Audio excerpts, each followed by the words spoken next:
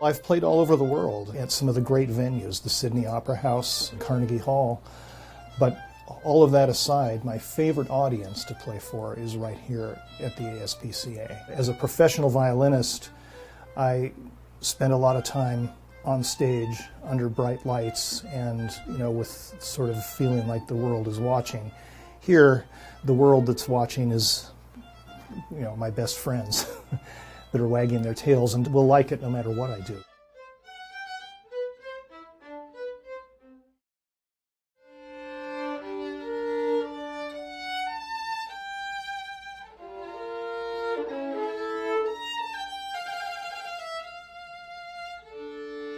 I think wanting to become a volunteer at the ASPCA uh, for me was rooted in my uh, desire to reconnect with animals.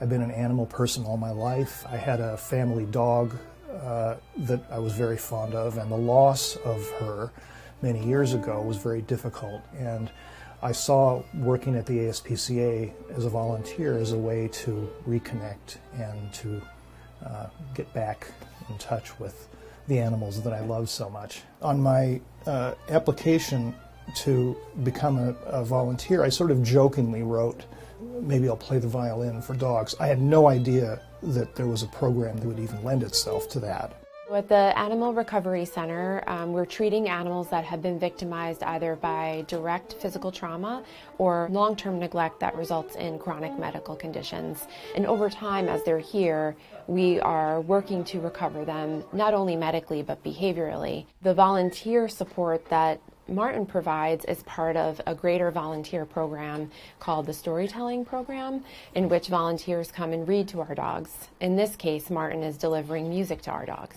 They're providing much needed socialization. This brings the dogs um, an opportunity to meet new people and learn that strangers bring good things. Here, I just feel like I can come and just make music, and I know that no matter what comes out, really, that, that, that my audience is going to, in some way, benefit from. At least that's my hope.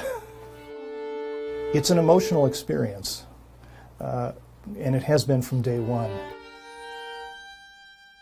I get attached very quickly to uh, some of these dogs I've played for, and then a week or two will pass, and I'll come back, and some of those dogs will not be here.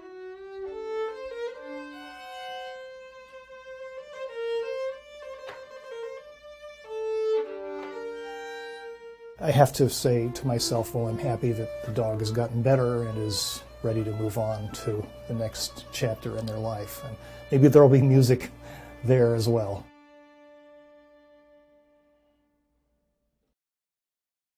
Hey, say hi? There you go.